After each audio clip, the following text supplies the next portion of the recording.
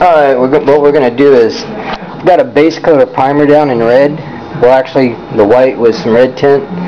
Uh, we're working in a rental house in one of, one of the family rentals and we're gonna go ahead and use it as a, a- another test bed. And what we're gonna do is we're gonna tint this clear coat and we're gonna do a color in UV. So, uh, I think the color will surprise you and, um, you know, this is all part of our learning process on how to tint colors and, and get everything just right.